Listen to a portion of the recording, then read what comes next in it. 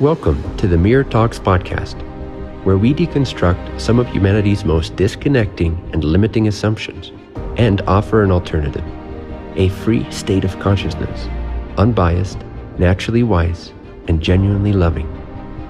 We will shed a more enlightened perspective on everyday experiences to help anyone willing realize their true potential and inspire a contemporary spiritual life lived in service to all.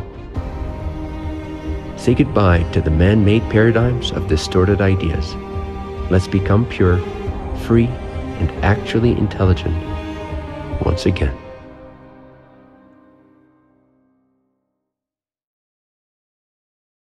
Hey everyone, welcome to another episode of Mirror Talks with Bentinho Massaro. This episode, Why True Spirituality is Science, is about how genuine spirituality, not spiritual concepts and dogma and lifestyle, but genuine self knowledge is the evolution of science. And I suppose it's not just the evolution of science, but it's also the missing foundation, which renders most scientific pursuits unscientific by their own definition.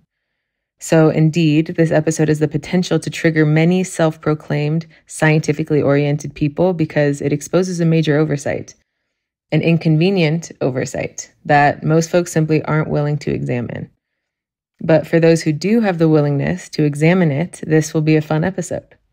So you can expect this one to start slow and steady as Bentinho lays some groundwork for a punchline that happens right around the halfway mark. Then in the second half, a lot of the pieces start coming together as we paint the picture of a more enlightened scientific approach. My favorite part is toward the end when Bentinho talks about faith, something typically shunned by the scientific community, and how faith in the truth drives a passion for knowing reality, while dogma, religious or so called scientific, drives a perpetuation of the concepts we're comfy and familiar with.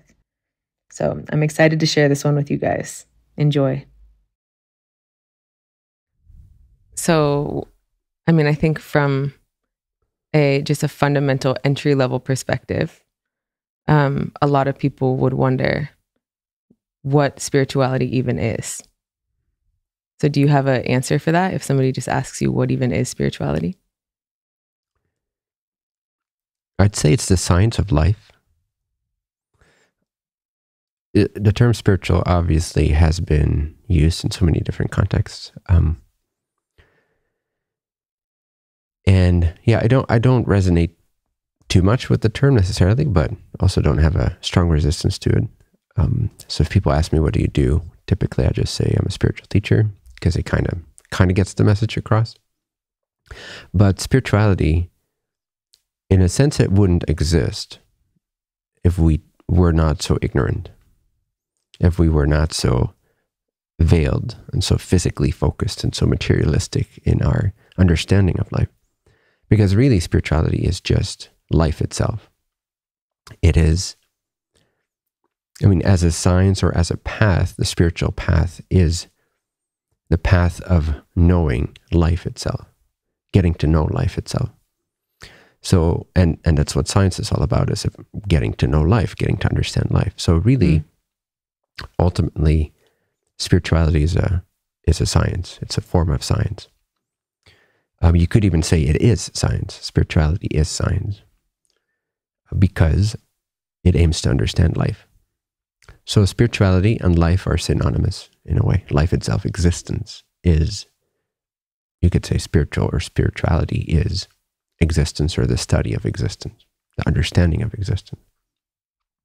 So, but again, because we've separated our reality so much into, into this material compartment, um, we've created a separate branch and we call it religion or we call it spirituality. But really, if you think about it, if we didn't have the misunderstanding to begin with, or if we weren't so veiled from understanding life and and approaching life in a holistic way, like uh, the understanding of existence itself in a holistic way, then we wouldn't have needed to create this sort of mm. thing called spirituality. And sometimes people see it kind of like a hobby or like um, just an interest that you uh, insert into your Facebook interests or whatever. but and, and I understand like if you if you need to become familiar with it for the first time, it makes sense to call it something. So spirituality is, in a sense, if we want to separate it a little bit from life as most people know it, like the more material life, you could say there's materialism and there's spirituality or spiritualism, I suppose you could say. So, where materialism is all about the belief system of physicality is first and foremost, and that is the reality. Spirituality would be about either the belief or understanding or knowing or assumption that there is a spiritual quality to existence or a spiritual reality to existence that is either in addition to the materialistic reality or the physical reality.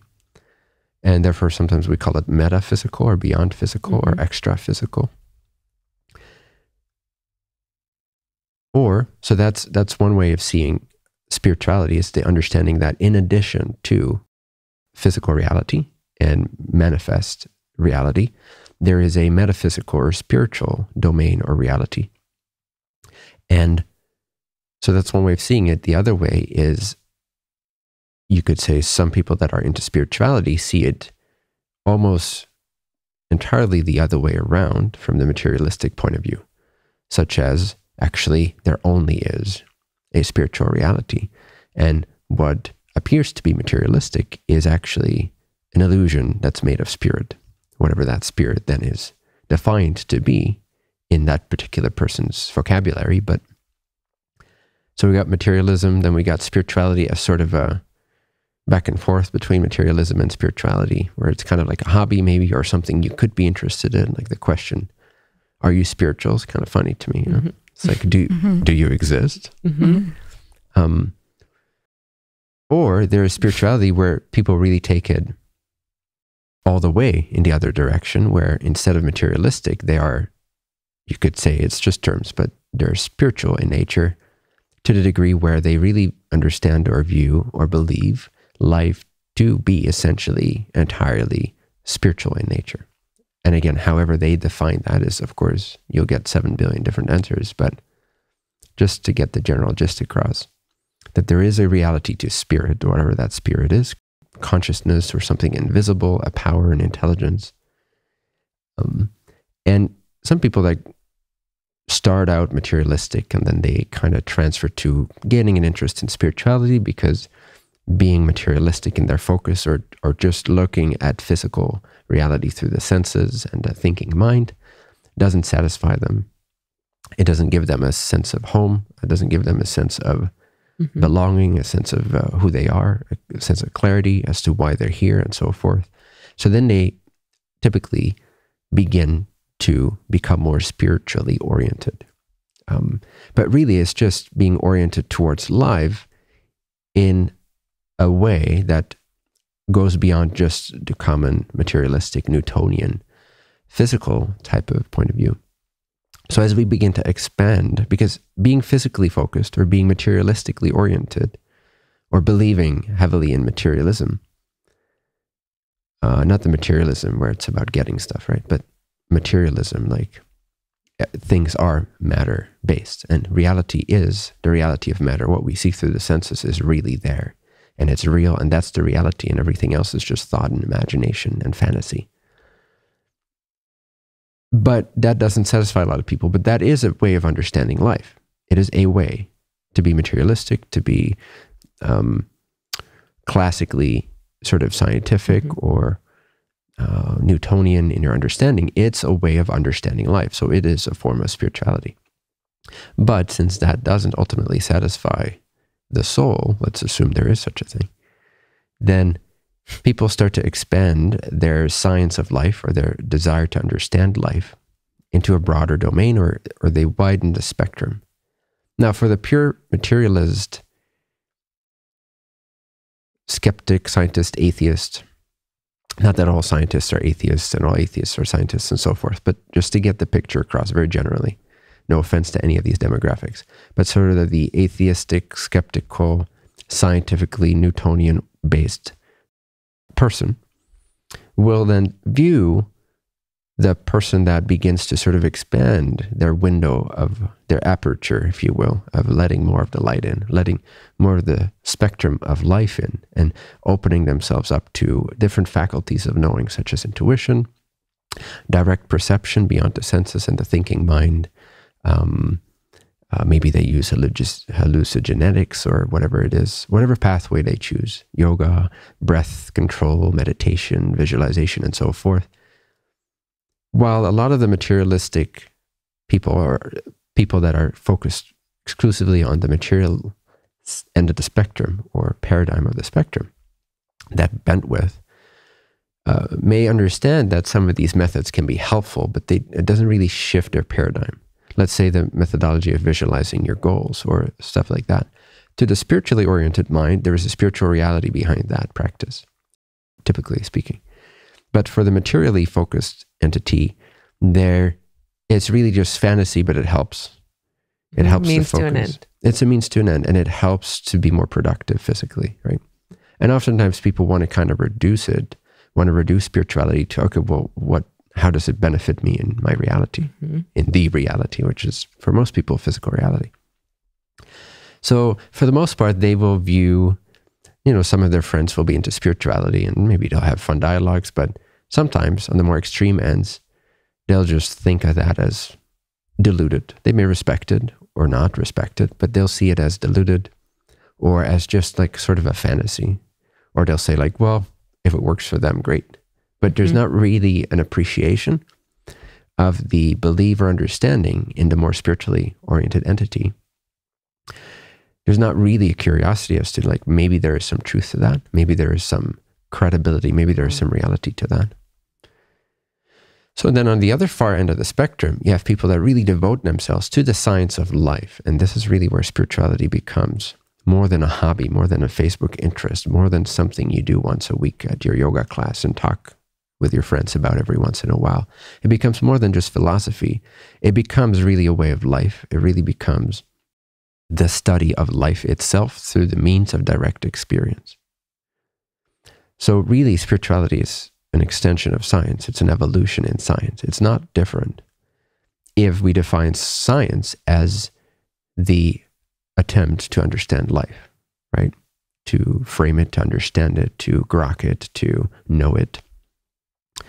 Life, or you could say existence or creation. Some people say the universe. But this, this weird principle that we have here of experience, of, of existing. The experience that we have, that we all have, the experience of I exist, I am, and you also seem to be. You also seem to have a sense of existence to you. We're trying to understand that, but the the scientist who's not including the spiritual bandwidth of the spectrum of life will be limited to study of what we call the empirical world, which is observed. It's not that empirical because it's observed through the senses only and the thinking mind uh, for the most part. Like even the instruments we use to measure physical reality, or as the materialist believes it to be, the reality, like reality is only this which we can see. When we're limited to the materialistic view and we're not truly open, and there's no such thing as healthy skepticism in this, so much. Like mm-hmm. you really have to have an openness because the spiritual reality, the bandwidth that we would call spiritual, but we'd only again we only call it spiritual because we've been so focused on matter. So more accurate would be a different portion of the spectrum of life of existence itself. If you want to open up to that, you got you got to open up to different faculties of knowing, different ways, different means of knowing things. You cannot just rely on the intellect, the reasoning mind, the logical mind, and the sense perceptions. Once you understand, and most scientists would agree with that, with this, I mean, it's been proven that we only perceive so much of the spectrum of light and sound mm-hmm. and so forth. So we only perceive a very tiny perception, even of what we could say is physical, the physical reality. And so to study life, so some of the materialistically oriented people or scientists or they know about that knowledge. If you say that, it's not a new quote necessarily. What I just said about we can only perceive a small percentage of the spectrum of light and sound, and our senses can only perceive a tiny, tiny portion of what's out there, so to speak. Even though people know that, they don't apply it typically. They don't mm-hmm. incorporate that, and it doesn't baffle them or struck them with awe or humble them to their knees in a good way to where they begin to open up to different ways of knowing. So, what distinguishes the spiritual adept from the materialistic adept, both are scientists of life, is that the spiritual adept is open to utilize different means of knowing. And of course, it is a bit of a fine line because what is fantasy and what is experience or what is what is a scientific approach to spirituality? Because a lot of people do just think all kinds of things and then give that right. meaning and reality. And then it kind of falls off the bent wagon. And then we as a spiritual community just appear kind of nuts. Even like all major religions, there's all kinds of weird dogma. And sure. Yeah. Things that are not proven uh, probably never will be provable. Right. And, but also the way that people use it and the way that their ego latches onto these concepts and dr- dramatizes them and fantasizes about them and so forth, and then proclaims it the truth and all that. It is a fine line to not sort of um, lose your groundedness and lose this ability to be objective and reasonable. But again, spirituality, if we wish to, if we wish to understand life, we must open up to different ways of knowing life. And so spirituality really is the same as science but it's an extension of it. It's an evolution of it. It it addresses other bandwidths of the spectrum as well, other frequencies within the bandwidth of existence as well. And so the spiritual adept, assuming that they're grounded, like I was just explaining, assuming that they're sincere and earnest, and they wish to arrive at a balanced view and understanding of life or existence, they have an edge, in my opinion, over the materialistic paradigm locked into scientist or materialistic adept because they are limited to the intellect, for the most part, the intellect mm-hmm. and the senses, and to some degree, intuition. Some scientists are great at incorporating their intuition and following their hunches and then coming to great discoveries. So there's definitely, you know, there's not just one type of Newtonian scientist. There's there's an infinite range, an infinite spectrum of how open people are. But to exemplify my point, if you have a more extremely materialistically based adapt versus a more spiritually oriented adapt, the spiritually oriented adapt has opened up, has accepted, has faith in other ways of knowing. So basically, in my view, spirituality is science. The art of spirituality is the same as the art of science. I agree, not many people approach it in that way, approach it in a scientific way. But it really just is the understanding of life. You do take an extremely scientific approach to your spirituality, though, or to your seeking. Compared to most spiritual people, your approach is you you really do value the principles of science. It seems like being honest about what you find and not embellishing and not sort of creating mm-hmm. fantasy stuff, but really. Yeah, I will not claim that I've never done that, but I have done my best to keep it as uh, to make sure that the spiritual approach follows what I call the scientific attitude or the scientific approach. So, if we defined a scientific approach as, and I'm sure a lot of scientists would come up with a different definition. So I won't grab everybody with this one, but something along the lines of to study, to observe as objectively as one can, mm-hmm. with as little personal bias involved. Right? We when we're when someone, even in the materialistic domain, if someone is highly unscientific, then they're just their bias is all over the place, right? And a true scientist or someone who follows the more true scientific approach um, will kind of uh, either laugh at that or just not take it seriously. Because it's just obvious that a lot of times people's biases are very heavily involved. So the scientific approach is the study of life, the study of understanding life or certain of certain components of life with an attitude that is as objective and bias free as possible. Testable, uh, repeatable, and so forth. So let's address a little bit more what spirituality in my view.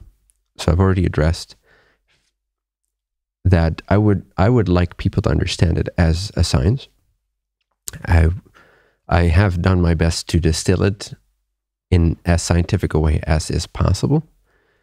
And again, when I say that, we got to understand that what the materialistically oriented scientist will call unscientific, I might still call scientific if it follows what I call the scientific approach.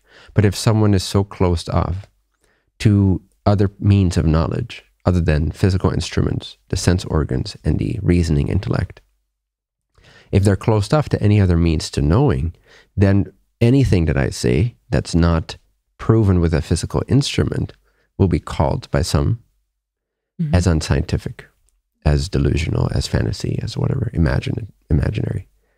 So so let's clarify also this scientific approach. So I believe that the true sage, if you will, someone who's gone really deep in the science of life, by including the bandwidths that are not physical, that don't follow the laws of matter, they've included, incorporated different faculties of knowledge, different ways of, different means of knowing things.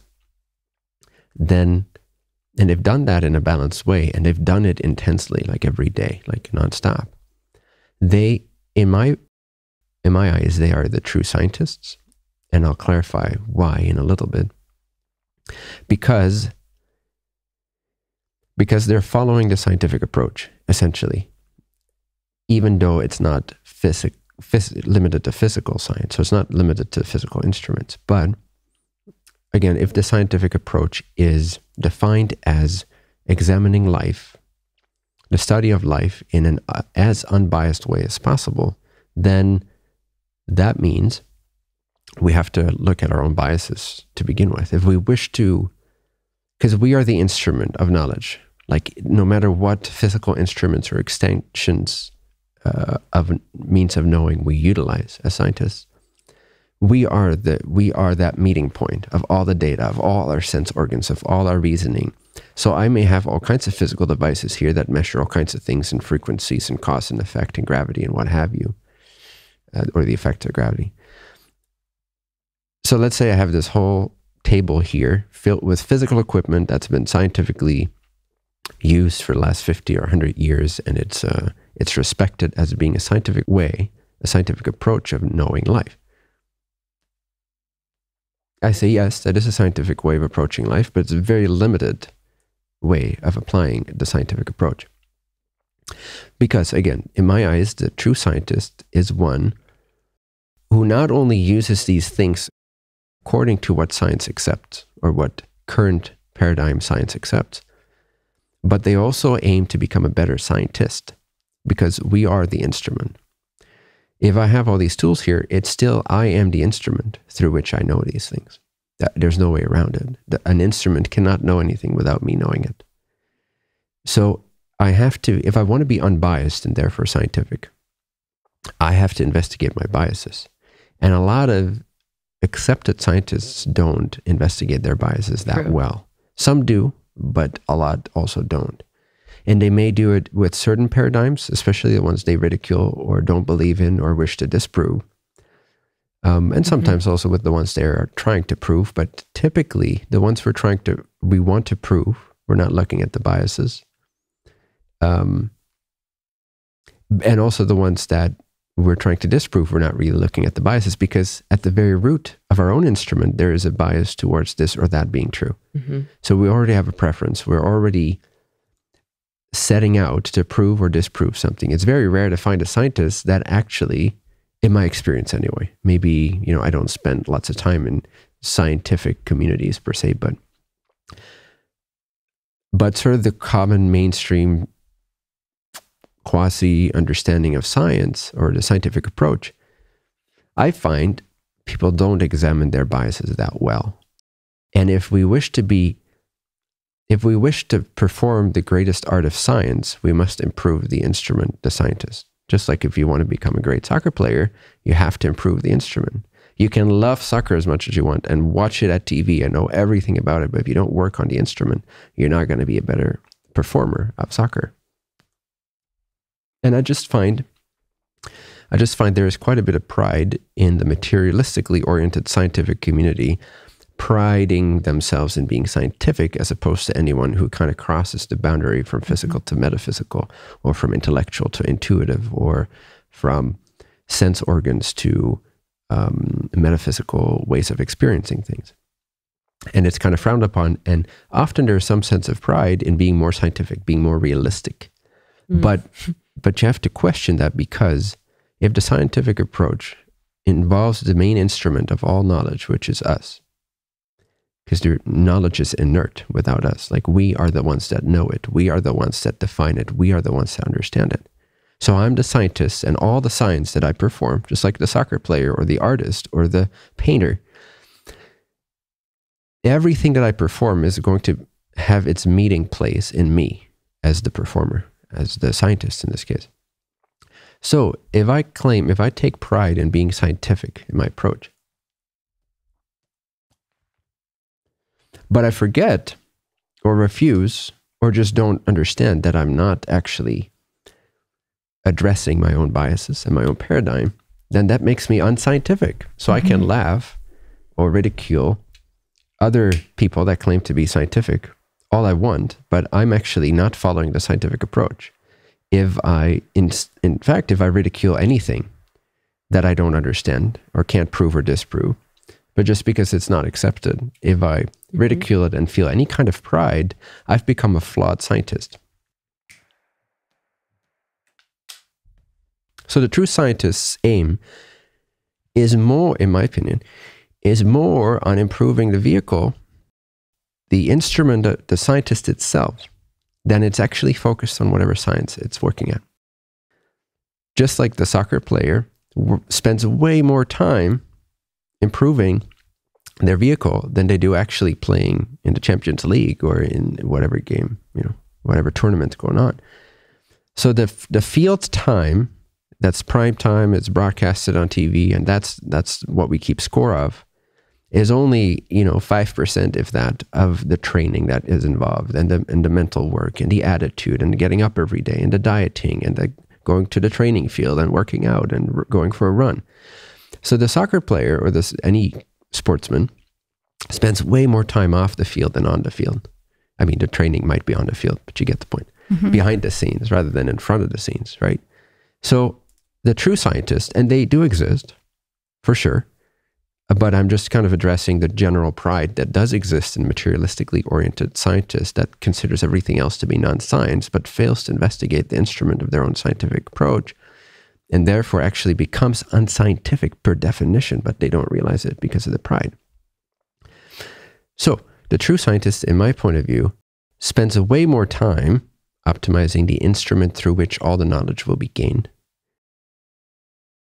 All along, sort of contextual story to get to the point that the true spiritual aspirant is the truest scientist of them all, in my view, because they take science all the way. And this is really where we get to the heart of what is spirituality. Now, roughly, there's two categories to spirituality I have found. One deals with self actualization. Spirituality always has to do with the nature of life and the nature of who am I and so forth. But there's this branch of empowerment and self actualization and self expression and kind of dealing with the thoughts and the emotions and optimizing our mindset and becoming a better person, if you will, and becoming a more aligned person and having a better sense of what our calling or our purpose is and executing that with greater ease and greater abundance and greater efficiency. So we work on ourselves as individuals. Important aspect of life. So, this is the category of empowerment mm-hmm. or self actualization. It's the actualizing of oneself.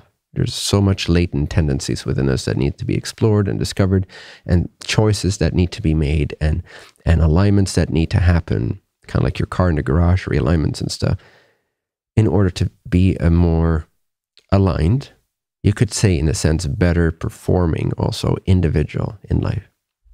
So that's the whole category of spirituality that I would call self actualization. Then there's this seemingly separate branch, which has to do actually with transcending the individual or not identifying with the individual. And this has typically been termed enlightenment or self realization. Self with a capital S, like the realization of the true self. And what is the true self? And very quickly we find that it's not the thoughts, it's not the emotions, it's not the physical body, and it's not our actions, and it's not even our choices. So, quite rapidly in the path of self realization, if, if, you're following those types of teachings and scriptures and teachers, the path of enlightenment suggests that there is sort of a singular reality behind all these phenomenal appearances and experiences. That is the true self. And the aim of enlightenment is to realize that true self directly in our direct experience. So you kind of have these two branches. And their approaches are different, their meditations are different, their contemplations are different, their teachings are very different. And um, I'll, I'll kind of get back to how they how they uh, are ultimately one or how they come together. Mm-hmm. But first, I want to finish my point. I think about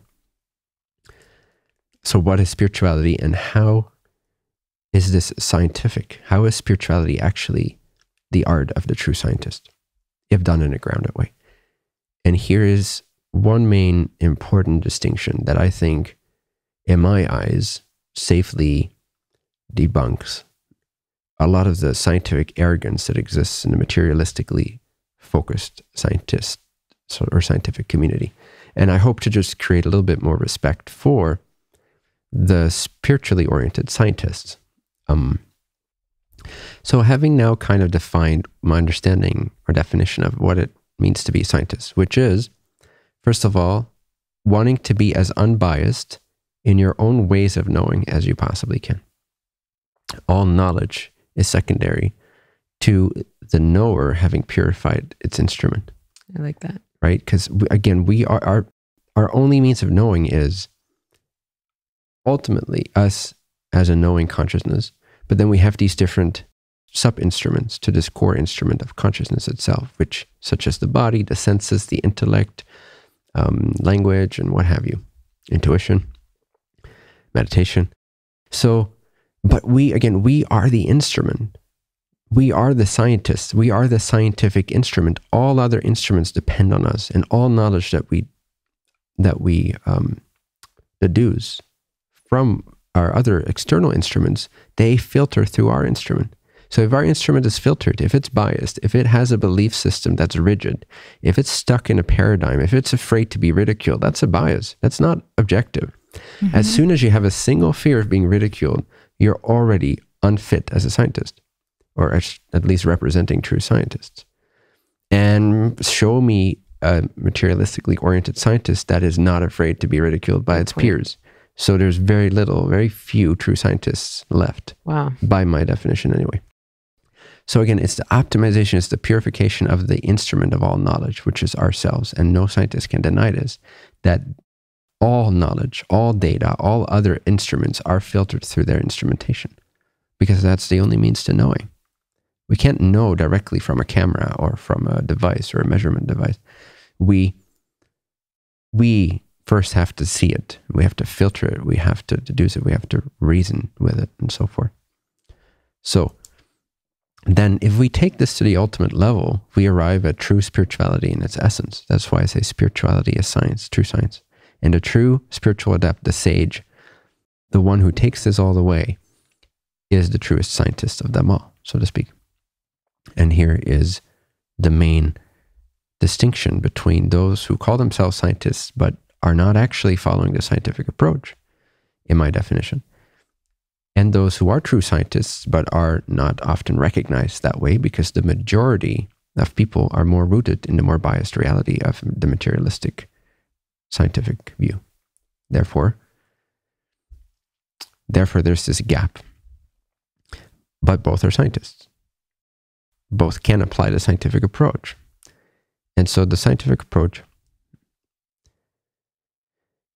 at its core what needs to be understood is that the main bias as I see it in those that stay within the physically proven materialistic Newtonian kind of realm of things.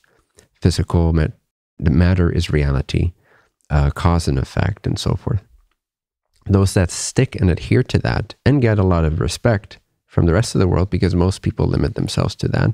Therefore, it's a mutually reinforcing kind of like mm-hmm. a gossip group where everyone shares their insecurities and we reinforce each other's insecurities. And then we, we paint a picture of a bad guy because it reinforces our egos, right? So, quite a bit of the scientific, or those who think they're scientific, um, even when they're not really practicing it, are kind of in that domain of like not really expanding their vision. So, the main thing that I would like to get across that I think would resolve this to a large extent, the difference between these two camps is of the materialistic scientist and the spiritual scientist is the understanding, the inclusion of consciousness itself. Now, there are many scientists that are that are asking questions about what is consciousness, and they're trying to come up with viable answers and viable solutions and so forth. But to this day, it's remained a mystery to the materialistic uh, scientist while to the best examples of the spiritual scientists of our times, it has been resolved. That's why ultimately they are true scientists and they're more advanced scientists because they don't necessarily deny that within a certain realm of perception, if you uh, drop a glass, it will fall to the ground and break cause and effect. And there is gravity, and there's this and there's that. They won't deny that. They can also see that they include that, but they have resolved the mystery of consciousness. Consciousness, I think, is the stumbling block. It's the bridge between the materialistic scientist and the spiritual scientist to if that can be bridged, if that can be incorporated and understood and appreciated in the proper light and with the proper respect by the materialistic scientific community, then mm. it really becomes apparent that science is an approach it's not a paradigm of findings. Mm-hmm. You get what I'm saying? Yeah, that's yeah. cool. So typically, when we think of when we kind of just automatically talk about science, what do mm-hmm. you think about? Astronomers, uh, physicists, uh, people that observe how different liquids separate and, and reunite and what have you. So you're thinking of things that are physically proven with physical instruments, empirically evident, materialist. You're thinking about materialists, basically. Mm-hmm. So you're thinking about data and findings, but that's not science. If you go to the heart of science, it's an approach, it's an attitude, mm-hmm. it's an ongoing, evolving attitude, it's an approach. True science is an approach, it's not a particular paradigm of data. It's not even proven or unproven stuff. Science is an attitude, it's a way of life. And consciousness is the fundamental bridge and at present still separator between these two camps. And in, in the following way, this applies. I'm generalizing, so there are exceptions. But the typical materialistically oriented, peer opinion reinforced, respectable physicists, scientists, and so forth in general, they may ask questions about the nature of consciousness. Where, how does it arise? What causes it? Is it does it come before matter? Does it come after matter? Is it a result of matter? Is matter the result of consciousness? The more philosophically inclined scientists may start to ask these questions. So, very great start. But you don't often see people that claim to be scientific in their approach actually take the scientific approach to the bias they have about reality being real in a materialistic way. Cool. Again, in the following way. if we know that's the scientific approach, I feel like I'm repeating myself a lot, but I want to make this clear. Mm-hmm. So, if the scientific approach is to be as unbiased in our investigation and purify the instrument of data finding and so forth, the one that comes to conclusions, the one that observes even before it comes to conclusions, right? Because often we observe what we've concluded, but we don't even Mhm. know we're concluding things. Again, bias, belief systems, and so forth, they all taint us. And quantum science has shown that whatever you believe and expect has an effect on matter, which is one example that a lot of classical Newtonian scientists or materialistically oriented scientists just kind of completely either forget about conveniently. This is a major finding It's like huge. massive. Mass. Hello, the observer affects the phenomenon. What? We should completely rewrite science, Mhm. but we don't, because it's not comfortable, and then we're no longer experts in our field, and then we're dummies again. We have to start from scratch. That's why a lot of people are not true scientists because their intention is not true knowledge. It is to be respectable, to just Mm. kind of follow their passion in a certain way. Um, again, not all of them. Some are really genuine, genuine seekers of truth. Again, really. But there's this sort of broad, sort of lesser intelligent, very vast community of scientists that it's all about pride for the most part. And, and of course, there's a dose of passion in that because we all have a passion for life and astronomy and so forth. But but it's so tainted by pride and, and, and stigma and, and taboo and sticking to that paradigm. So when you hear something like that, and that's not even the most profound thing, that's just one of the effects, is that consciousness affects matter. Like this should, if you're a true scientist, this should stop you in your tracks. This should make you reinvestigate every finding you've ever found. Mhm. Do people do that? No, hell no. People don't do that. Scientists don't do that. They just don't do that. Again, very rare exception who does. So, first of all, that eliminates 99% of people as scientists that claim to be scientists. Because you're not a scientist based on the data you find, you're a scientist based on your approach. It's an attitude. Mm. It's got to Mhm. be pure, it's got to be super earnest. It's got to be about purifying the instrument, the scientist itself but we don't. We hear these things and it's like, oh, that's cool. Fun. Well, that's weird. Well, I don't know how that works. Let me go back to this. And and again, the pride continues. Humility is hard to find, especially in respectable communities. Very hard to find humility because it takes great courage, takes great sacrifice of ego, which requires spiritual understanding of life. so if you don't have that, you're kind of screwed. You're locked into this Newtonian way of thinking. Um, and uh, a lot of it is run by ego, whether consciously or unconsciously. That's not even the biggest thing, the whole quantum science thing, where the observer affects the outcome of, an, of a result and such. The bigger thing is, again, consciousness itself. Like, this is the Mhm. bridge. And the main here, the, what separates the materialist from the spiritualist is, again, very roughly generalizing, the materialist and again, there's a whole spectrum in between, but the materialist end of the spectrum believes religiously, science is religion, religiously believes, doesn't know, believes, doesn't know, it's never proven, believes, religious, religiously believes that matter equals existence or reality. And that that is all there is to reality for the most part. And believes that consciousness is somehow an effect produced by this matter. Mhm. And typically, also, not always, but if we really go to sort of the lowest vibrational spectrum or the like the most narrow bandwidth type of Newtonian materialistic scientific view, it's at which point it's no longer really scientific, but it's a view of religion. It's the most limiting religion.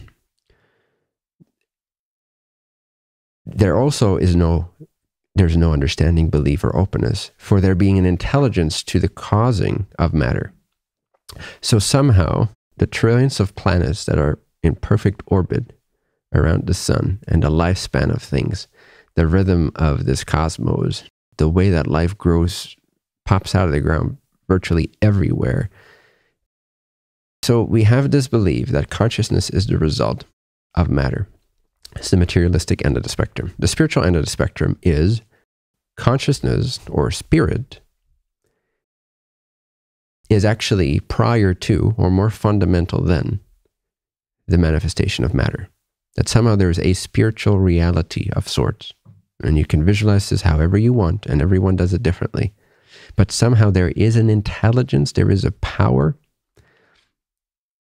a powerful intelligence, a consciousness, if you will, a sentience, an aliveness, an intelligence that somehow is responsible for the organization of all kinds of realities, including the very tail end of the spectrum physical, sense perception based matter, light, sounds, and so forth. Now, we, again, in my definition, we cannot call ourselves a true scientist if we do not investigate the following direct experience. It's at the root of all our findings. No? Mm-hmm. Like, again, I can use instruments within instruments within instruments that observe things without my knowledge, and I come back to the data. And but ultimately, all knowledge is based on, dependent on experiencing, direct experiencing. So again, the scientist, the true scientist, needs to investigate what is this? Because this is my instrument for knowing. What is this instrument for knowing? We call it by a name, and it's consciousness.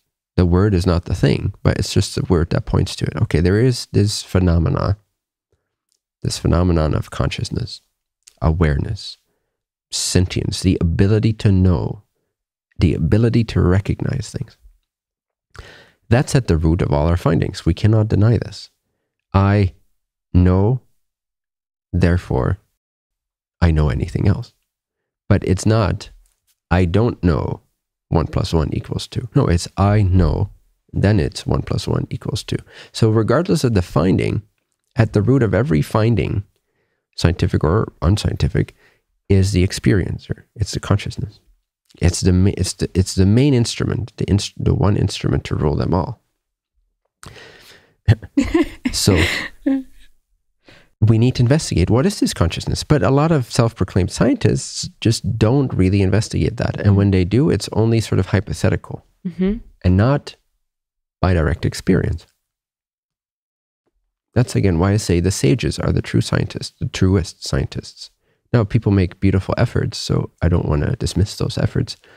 But if we have to place it in a hierarchy, the sage, which is not a word for someone who's gone really profoundly into the direct experience of their true selves, of consciousness itself, explored the nature of consciousness itself, and then emerges enlightened, if you will, is the truest scientist because they've really gone as deep as one can go in purifying the instrument, investigating the instrument itself. Therefore, their resulting views will seem very different. Their, their findings will be different from those that limit themselves to a bandwidth of assumption, bias, intellectual reasoning, logic, uh, calculations, mathematics, sense perceptions. And that's pretty much it with a little dose of intuition here and there, depending on who it is, following their hunches, kind of thing. Mm-hmm. But direct experience itself typically is negated or bypassed. But direct experience is consciousness. Consciousness is direct experience. So, what would bridge this? What would expand the materialistic view to include the spiritual view? And therefore, we could just call it life or the science of life as one whole spectrum, including observing the loss of physical reality, but not limiting that by calling physical reality the reality or existence. The world, what we call the world, we often think of as existence or creation. But that's just a very small subset. It's a very small bandwidth of frequencies that we're able to perceive and and uh, reason with. Mm-hmm. So we have to understand there's a difference between existence and the world the world is just what we're allowed to see through our tiny little binoculars pointed at this tiny little spectrum of light.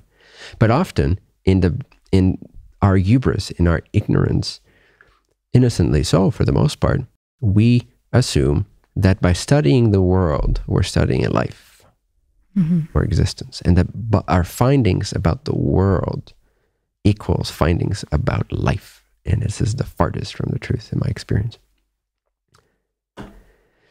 Again, a whole world would open up if the materialistically oriented scientists would understand that in their feverish passion to prove and disprove and have these findings about the world somehow symbolize an understanding of life, make that false association of existence.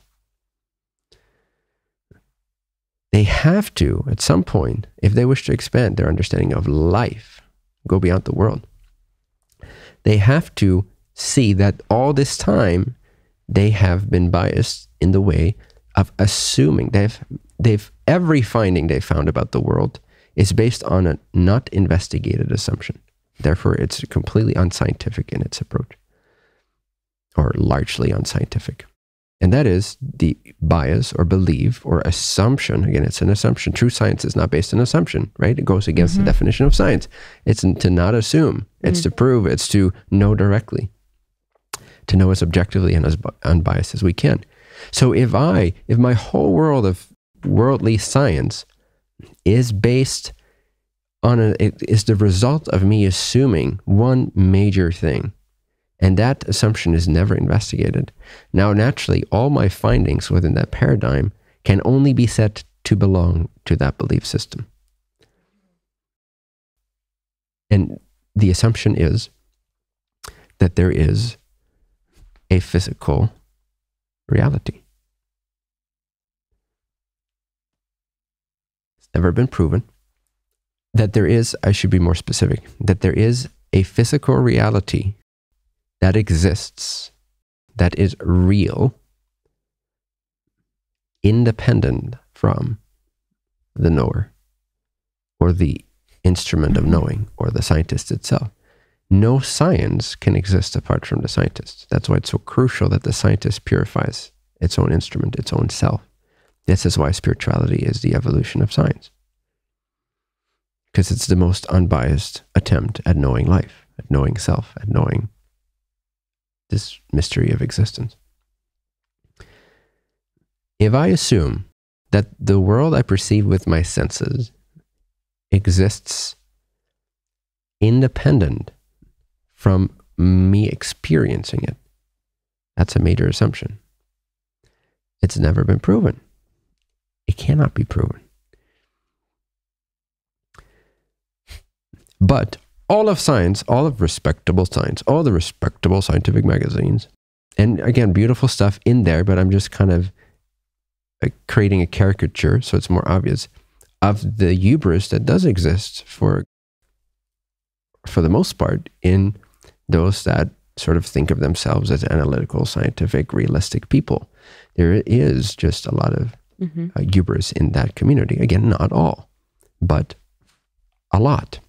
So, but to, to understand that everything in these articles, for the most part, is completely based on an uninvestigated assumption. Uninvestigated assumption. An uninvestigated assumption. A bias, a belief. It's religion. Every, almost everything in those magazines is religious by definition. You see, if science means to be unbiased and to not investigate from assumption as much as possible, and yet the attitude is completely unscientific towards the assumption that there is a reality that exists physically independent from consciousness, which has never been proven. You've never had an experience apart from your experience. You've never experienced any data or scientific magazine apart from experiencing it. So the true scientist investigates the experiencer and the nature of experiencing.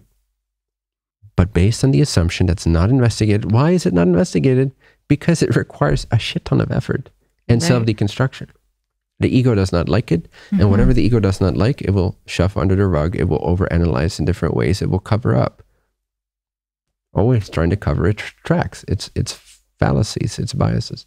And people have their science jobs and they're getting paid and they have to keep working and producing their daily quota of scientific work. Right. And there be, you know, they get some sense of respect and gratification. And if you're satisfied, you won't look deeper. If you're satisfied with what you have and what you get out of it, then already by definition, you're unfit to be a true scientist, just like the person who only eats fries and Budweiser, drinks Budweiser, and watches uh, movies, five movies a day, is unfit to play in the NFL.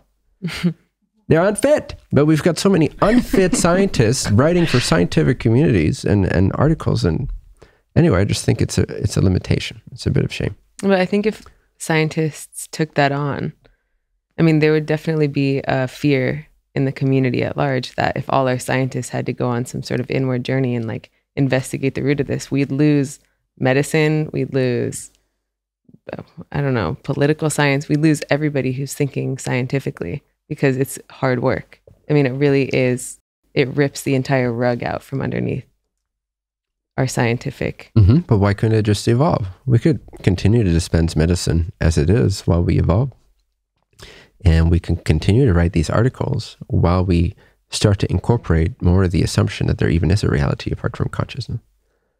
And again, the quantum model has already, to a great degree, hinted at by demonstrating the effects that this should be questioned.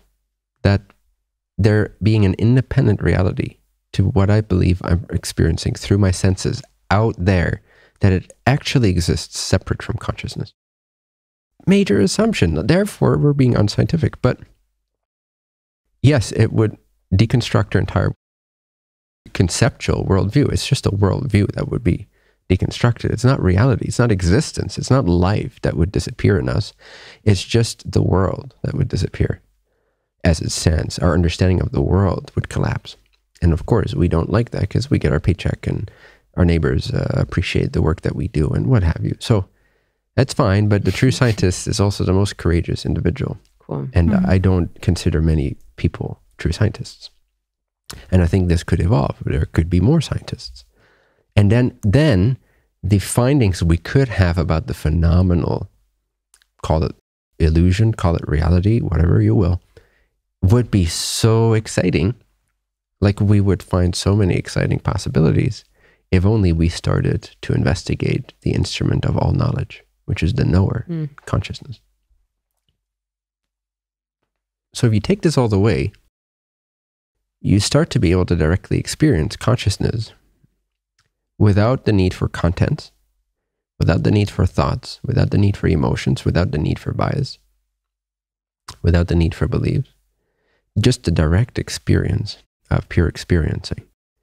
And this has a transformative effect upon the assumption of self, the assumption of what we believe we are, it has a greatly purifying effect, astonishing purifying effect on the instrument, which is the scientist itself.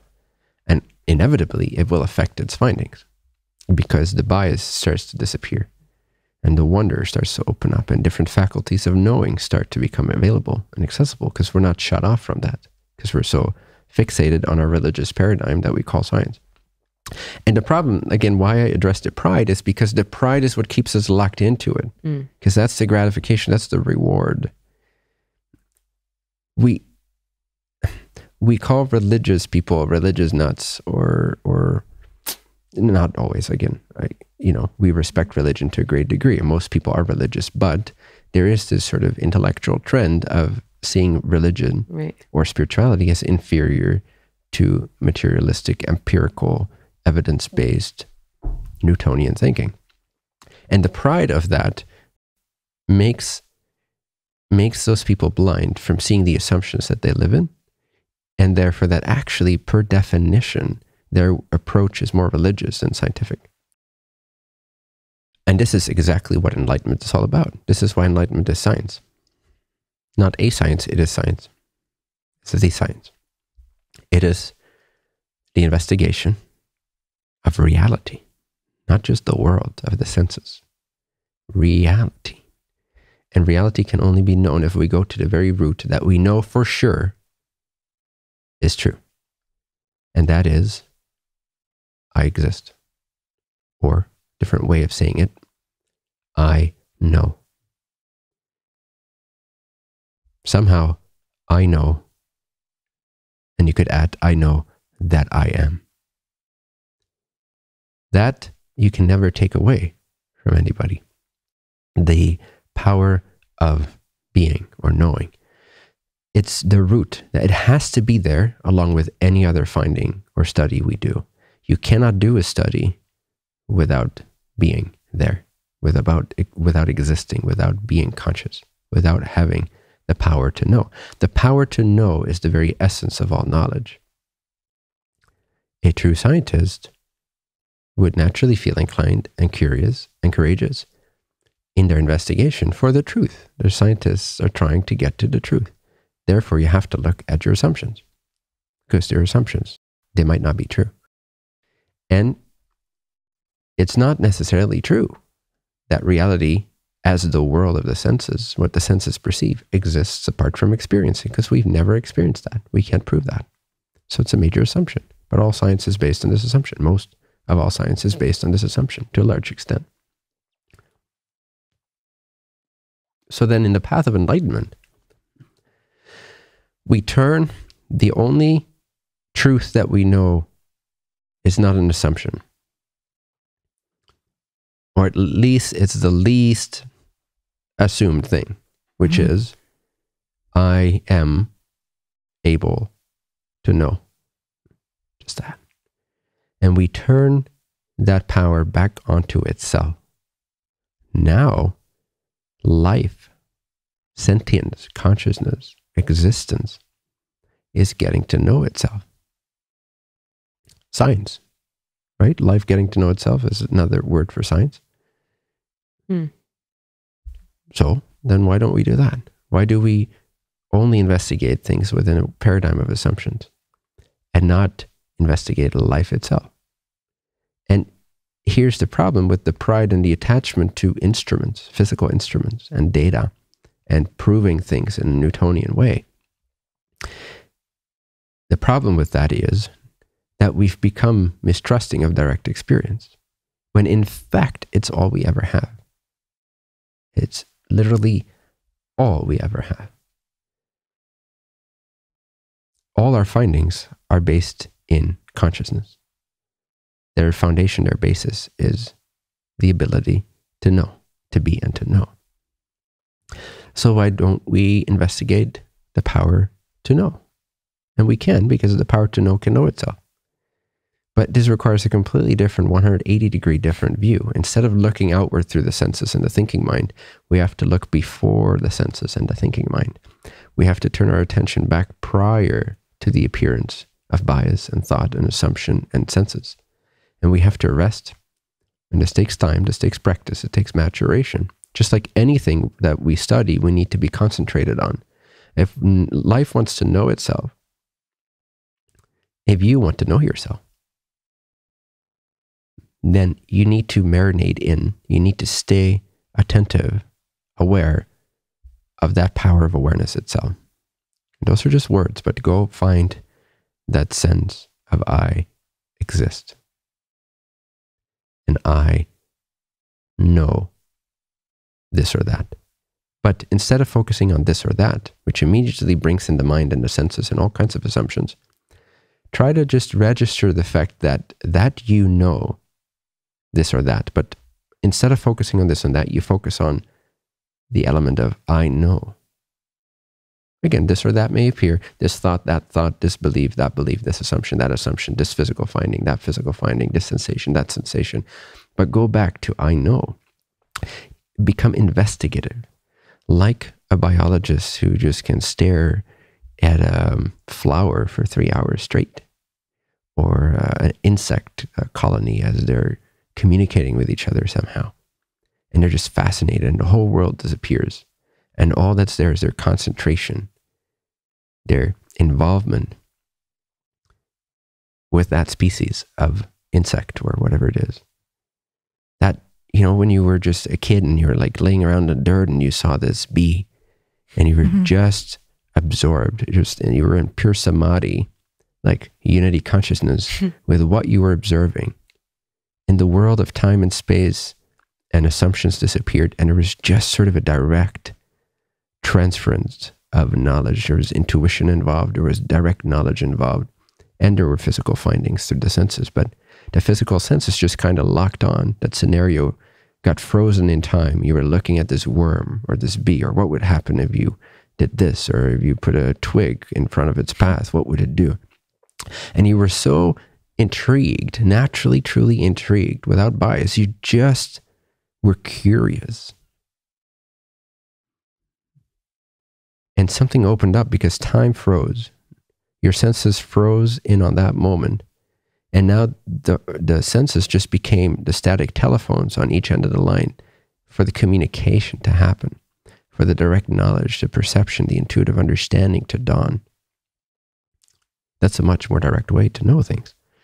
And that's where then findings and hypotheses come from, like people like Albert Einstein and stuff and Tesla, who were able to tap into that state of imagination or consciousness, um, a deeper state of consciousness that was aware of its own biases and was able to freeze that from time to time. And then, based on those direct intuitive insights, they started to formulate it in a way that the physical senses could agree with or the intellect could agree with. But the knowledge was direct. It was said that Tesla could perfectly construct a device at his first go because he could see the whole thing in his mind and he tried all the different ways so that when he made something, it was right right away. Stuff like that, like those faculties of knowledge open up. If only we use the power to know in a different way and we're not so ignorantly, immediately fooled and impressed by our senses and our assumptions and our belief systems and what the world also agrees with and stuff. So if we apply the power to know back onto itself, the power to know, the power to know, if we know the power to know repeatedly, repeatedly, a whole avenue of direct perception opens up that the materialistically oriented scientist will never get access to as for as long as they insist or find pride or gratification in their biased way of finding out things. So spirituality is science. It's the new science. It's always been science. The other stuff is just the stone age of science. But we pride ourselves in calling it reality and real. And the other stuff, which we don't understand, we automatically dismiss often. I have a question about what you would define as real versus what a scientist would ref- define as real. I would define as real direct experience. Now, the tricky thing is a sense perception comes closer to direct experience than a conceptual assessment about the sense perception, mm. right? But it's not yet direct experience. So, what I mean by that is like if I touch this table and I just stay present with that sensation and the visual of it, that is a more, that's closer to direct experience, therefore truth, than whatever I could write on a piece of paper about that. Does it make sense? Yeah. So there's there's degrees of moving away from the truth of reality of direct experience and into this sort of conceptual imaginary framework which might have valid descriptions of the real thing, but the map is not the territory. Mm-hmm. And it's very easy to forget this as a human mind that the map is not the territory. We may know it, we may remember it sometimes, but we act completely forgetting it, We're lost in a world of concepts for most of our day, thinking, assuming, thinking, assuming. So many assumptions in the back of our minds that we never realize we have and that completely filter our experience and allow us to only perceive this much of existence and believe it is the world and that it actually exists and that we're visitors to reality, which is the world. But it's complete make believe.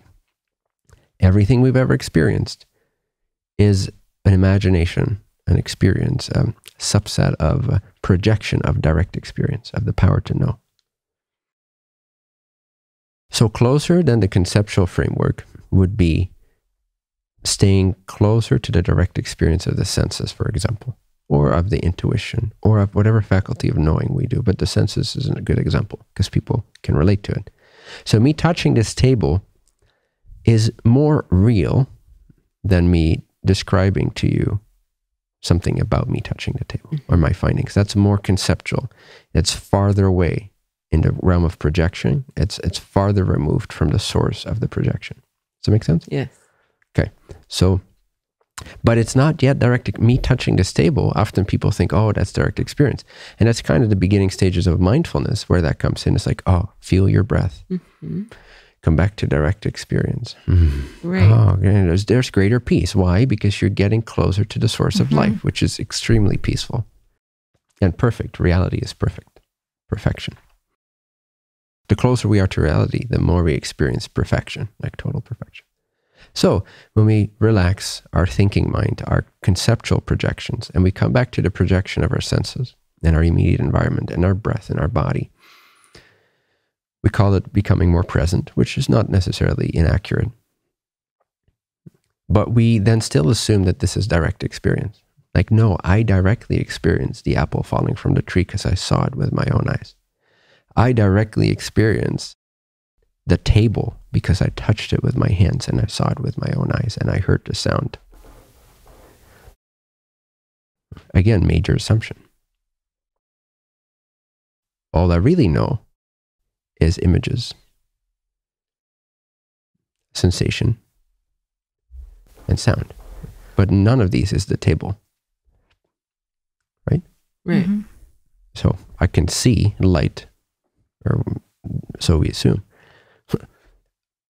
And then where I position that in my mind as having the location of being over here, and then I bring my hand, my other faculty of knowing things, which is sensing, feeling. Now I feel it and I hear it while I rub the table. So all of this produces the image, the assumption in my mind that there's an actual table, but I've never experienced a table. Nobody has ever experienced an object. That's one step further. But to start with one example, you have never experienced a table. Right. Because all that all that same stuff could Mhm. happen in a dream. Right. Like Mm. your mind can make any of that up. Yeah, you can hear a table in a dream. You can see a table in a dream. You can f- touch a table in a dream.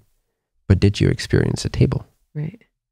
You have ears in your dream, or so you assume. You have eyes in your dream, so you assume. You can touch people, you can make love with them, you can have arguments with them. But did you really experience the people? So, me saying, okay, now I'm directly experiencing the table is another assumption. And this is why people don't want to go there because it's scary, right?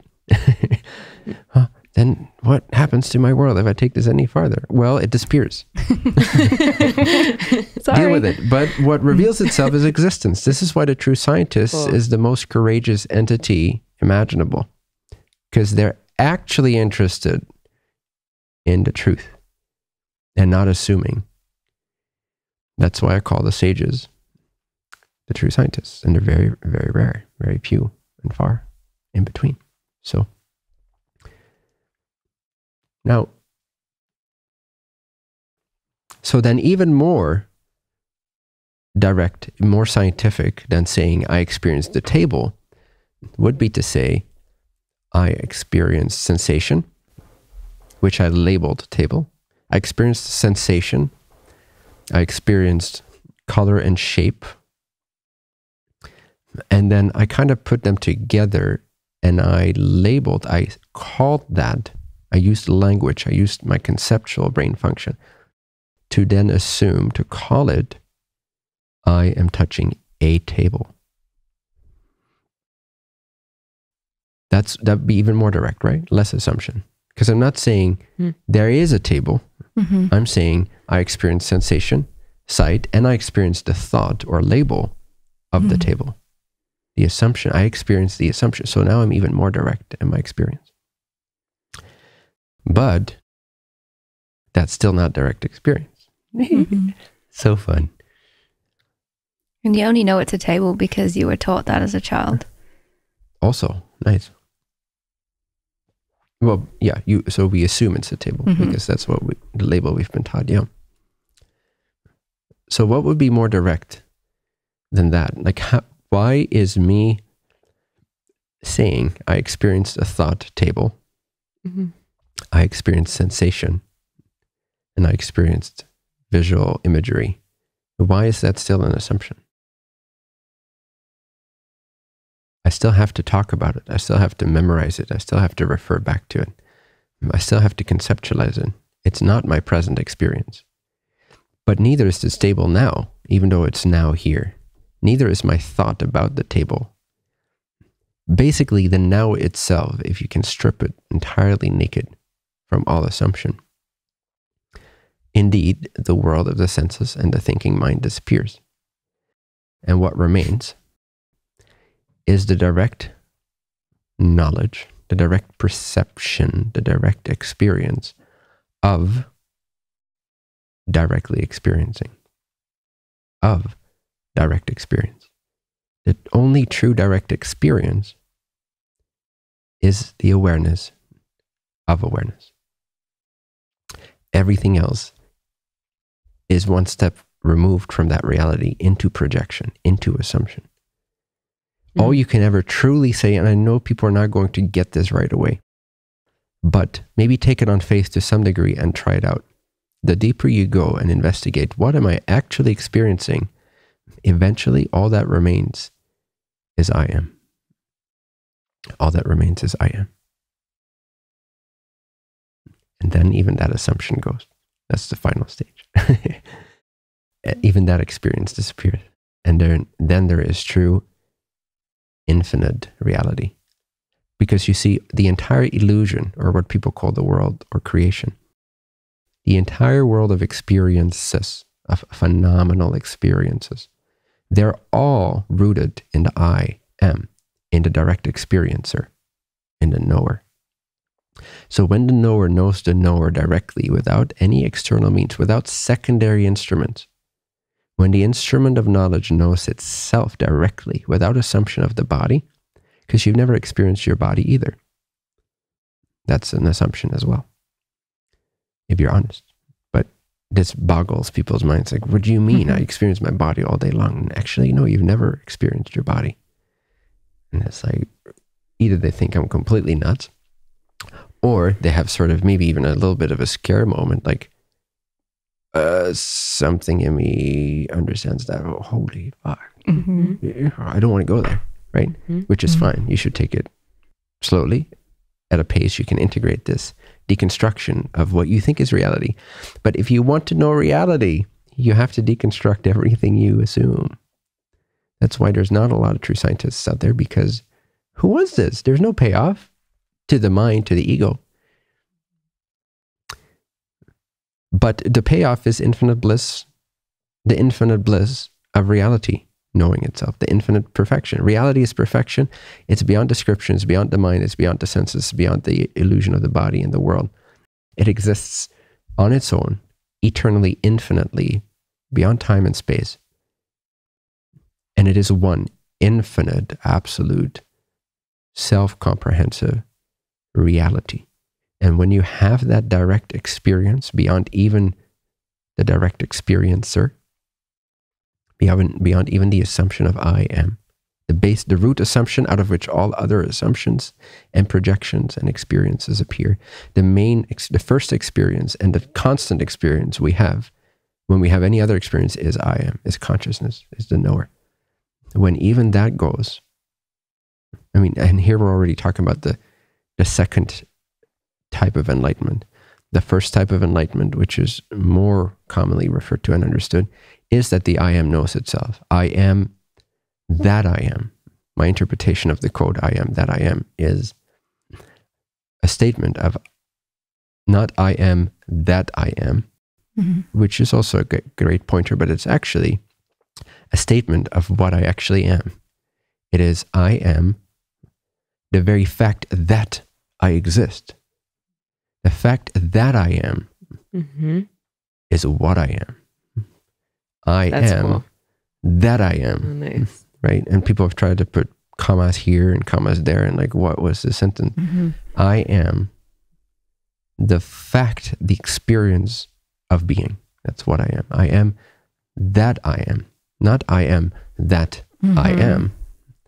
I am that I am. Mm-hmm. That I am is what I am. So that is enlightenment for all intents and purposes. That is going back to the unified, most original experience possible. And then before that, you go beyond experiencing. If you go beyond that, you go beyond all experiencing. You go beyond consciousness. You go beyond the root, that which is responsible for every experience, for all of the experience of what we call manifestation. And the entire manifestation disappears when the I am disappears. It already begins to disappear when the I am knows itself because it's no longer focused on its projections. It's focused on the light of the projector. And if you were to turn around and look into the light of the projector, you might still see some of the images. But if you go deeper into the light, you see just the light. You no longer see Tom Cruise running around at top speed for five minutes. You only see the light. You see the substratum. Now you see the essence of life itself. You know life itself. Every manifestation has at its root this power of knowing. That is enlightenment. Absolute, final realization is where even that light disappears and the infinite, uncaused, unborn reality that's beyond all experiencing somehow mysteriously comprehends itself as infinite perfection where there is no other. It's not alone. Well, it is alone, but not as in lonely. It, it's infinite Mm. oneness. It's itself. Uh, cannot be described because it's not an experience. You see. So, but the first step, the first distortion of that original absolute reality is the first illusion is consciousness, where I am. Then we get thoughts and feelings and so forth.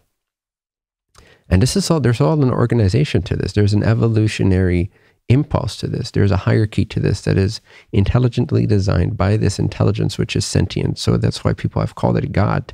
Once they've disidentified from God, they call it God. But it's really the I am, that I am, is God. So that intelligence can be known directly, can be felt, for lack of a better word, experience it directly. That is direct experience. That's the closest to the absolute true reality that we can get with the faculty of consciousness. And we cannot get beyond it without first passing through the door of I am. So reality is absolute, infinite, indescribable perfection, not ever appeared anywhere as an experience, not born. It's therefore the source of all that is.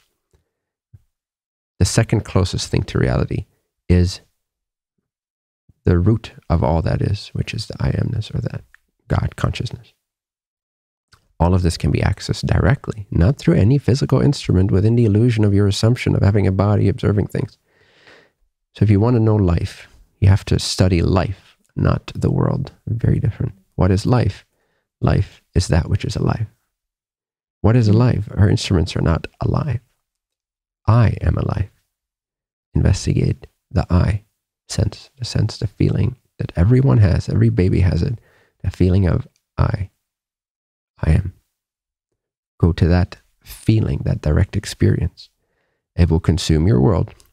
It will reveal it to be a flawless appearance, an illusion of the light of consciousness. And then you can go even beyond that in time with practice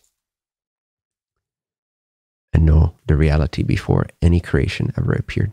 So then you also know what was before the Big Bang and what will be after the entire dissolution of this cosmic dance of vibrations and thoughts. And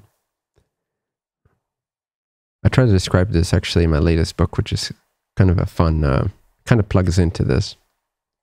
We had a dialogue with a friend, a few dialogues. So it's called uh, Spiritual Conversations with a Skeptic. Mhm. I recommend people check it out. It's a fun read. That's a great book for this topic. Mhm. So you might have already addressed this, but maybe there's a nuance in addition. So for somebody who's starting on this, say a scientist who wants to start investigating um, more directly, more act, more in the direction of what is aware, how, what is the scientific mindset? Like, what is the scientific mindset for somebody who wants to pursue this? Nice first step is humble yourself. Know that your entire list of findings is based on the assumption of a reality that exists apart from your direct experience. Know this to be an, assumption entirely. So go look for your assumptions. What am I assuming right now? And you'll find the list is near endless. But as you find the list is endless, the momentum of your humility and your earnestness and your direct your ability to directly know life also increases and it kind of swallows up those mm. delusions with this sort of energetic momentum of consciousness knowing itself. So it, it's like this light of the sun is let in more and more, and it just evaporates the mist of all these assumptions. That's what we call the enlightenment. So, first step would be to know that you don't know. You just thought you did. And to be ready for that. Like, are you willing to face that? If you're not, don't pretend you're doing this practice because you'll just distort it more and use it for your ego and pride and emotional gratification and social security and status and all that. So don't even start if you cannot be completely comfortable and excited about the inquiry. What am I actually assuming? And everything that I think I know is just that. I don't know. I think I know. To shift from I think I know and believing in that to knowing that you think you know is, is a magnificent first step into peace, truthfulness, sincerity, humility, uh, ego death. And then that will take you down the rabbit hole of truth. And what's the relationship there between I don't know in this context and then how you're saying what we have? Well, the only thing we know is that I know. Nice. So the only thing we do know, which again is this consciousness, which is this beingness, this being aware, this power to know, is all we actually know. It's constantly with us. Without it, we couldn't have this dialogue. Without it, you couldn't understand any of your findings about life. Without it, you couldn't have any of your assumptions be known to you. You only know what you think you know because you know. So, what you know is that you know. What you are is that you are. Can I say one thing about this? Mm-hmm. This there's a test that you've done that has helped me see this really clearly, which is just try to not know. Nice. Which I, it didn't. It was hard to access that until I tried not to know. Cool. Cool. Continue. Mm. Yep. Try not to know, or try not to be aware right now. Try not to exist. Good luck. So then you come back to that primary knowledge of life, which is the I exist. And those are words consciousness, awareness, being aware, the power to know, the essence of life itself, sentience, aliveness, cognizance, clarity, space like awareness or consciousness, I am, I exist, beingness, God, isness. Those are all words that are empty and meaningless, but they try to point to the direct experience that you're having right now of existing and being aware. The more you can lock onto that inability to not know, the more you can lock onto I know, not this or that, but I know that I know. I know that I know that I don't know things. Mm-hmm. I mm-hmm. know that I know that I think I know things, but I don't. For sure. I don't know things for sure, I'm assuming that's that sort of bridging humility that's required to become a true scientist. Up to that point, you're just a religious nut, confirming your own belief systems, mm. applying quantum mechanics without knowing it and without investigating it. So you don't qualify as a scientist, even if uh, the rest of the world thinks you are. It doesn't still doesn't make you a scientist. Per definition, you're not a scientist. Per my definition, anyway. Mm-hmm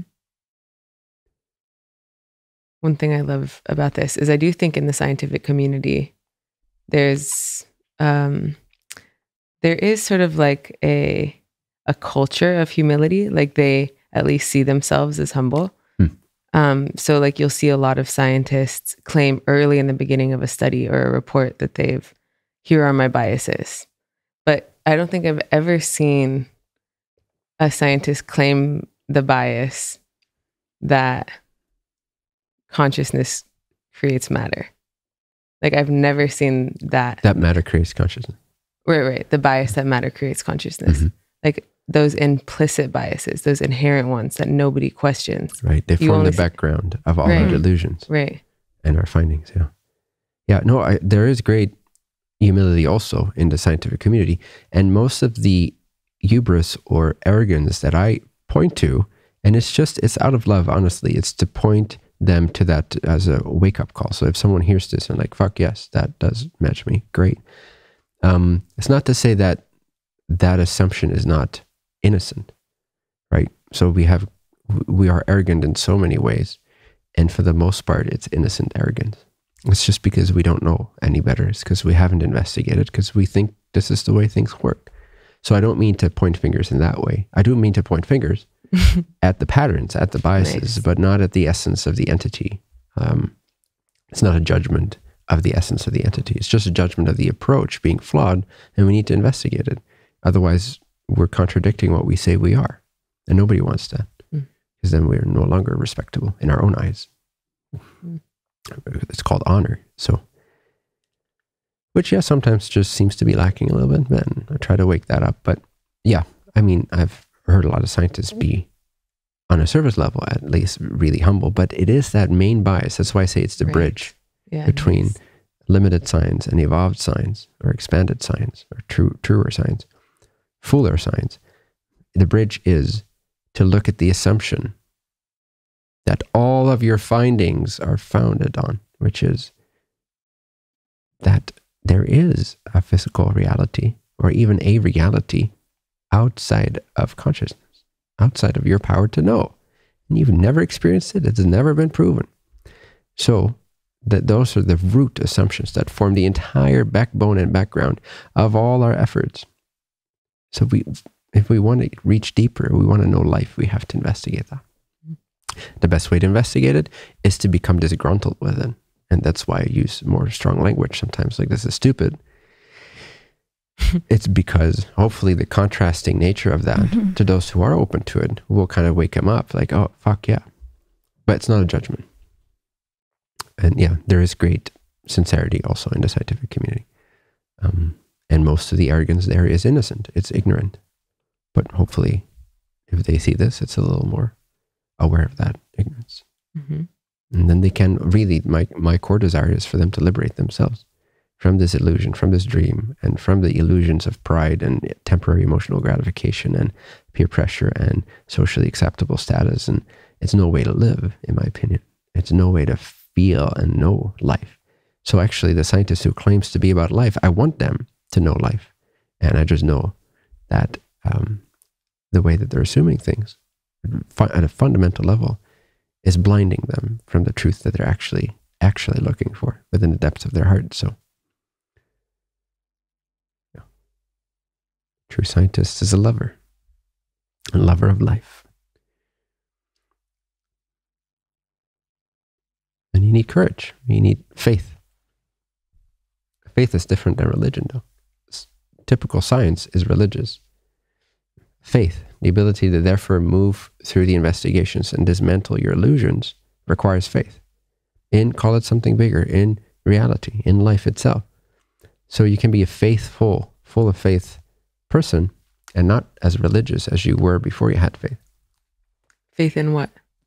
Before you had faith, that you were held in a presence of life itself, and that no matter what you would find, if you were honest and uh, investigated and deconstructed all your biases, that what you would end up with is actually benevolent. It's actually life itself. It is what you really are. Mm. Faith in that, that there's more than meets the eye, that there's more than the senses perceive, and so forth. The typical, or maybe it's not typical, but um, the sort of materialistic end of the spectrum of scientists, they typically lack faith, right? And they claim that those that portray faith are religious. Sometimes they say that. But again, they this, those scientists are more religious because they're living based on belief and assumption. And those that have faith can, some are highly religious, like they're highly just under the spell of a belief system and not investigating scientifically. But there's people that very highly directly investigate that have a lot of faith in life. Faith, some that this indescribable quality of I just know it's possible. I just know I'm okay no matter what. Faith without being religious. Whereas the scientific person without faith is more religious because it religiously believes in what it believes in. Whereas the one who has a lot of faith is now freeing themselves up to investigate those assumptions and those religious beliefs. Mm. Do you want the blue pill or the red pill? The blue pill is religion, the red pill is faith. Even if that religion expresses itself in scientific fashion, scientific status, or scientific approach. But it's still the blue pill, it's still religious. It's not the truth, it's not life itself. The red pill requires great faith in something other than what you know, but it's not religious because it takes you down the path of direct investigation. Like direct investigation of the root of all phenomena, which is the knower. Consciousness is all you've ever known and been. Everything else is assumption. It's inferred, it's referred to, it's memorized, it's thought of, it's made up, it's projected, it's assumed. Believing in what you're projecting is religion. Not believing in it, but investigating the root of it is science and requires faith. True science requires faith. False science is religious. It requires no faith. The less faith you have, the more religious you are. The more faith you have, true faith, the more scientific you become. Oh, that's so paradoxical from what people would associate with faith. Mhm. So, do you think the more faithful you are, or the more faith you have, I suppose, the more objectively you can see, the less biased you are? Absolutely. Really? Yes. Because you have to understand what I mean by faith. It's to not it's, it's to be so courageous. You have to you have to have faith in something Yeah. to investigate your beliefs Mhm. to the point of destruction, disillusion. You won't do that if you don't have faith in something deeper. So you see, you need faith in ultimately in your true self in order to become unreligious, to become a true scientist. It's not faith in an idea, although it can start out that way to give you courage to dissolve one idea to sort of become more direct in your experience, as we've, you know, demonstrated earlier. So you need faith to even want to do that, because without that faith, you're just going to focus on what you already know and try to make the best of that. Mhm. Take the take the blue pill. Red, taking the red pill took faith for Neo. It's like, hmm. and a certain disgruntlement with his reality, and the knowledge somehow that there's more. That's faith. That's not religious. Religious is when you put symbols into the mix and you stop investigating and you assume things. hmm Then it's religious. That's why most of science is religious, because it assumes that there's a reality apart from direct experience or consciousness.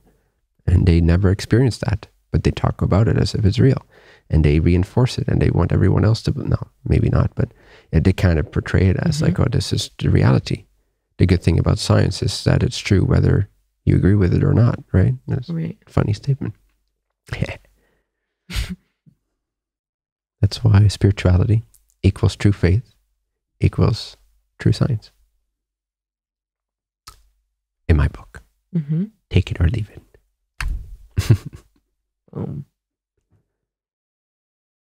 Thank you for tuning in to this episode of the Mirror Talks podcast with Bentinho Massaro.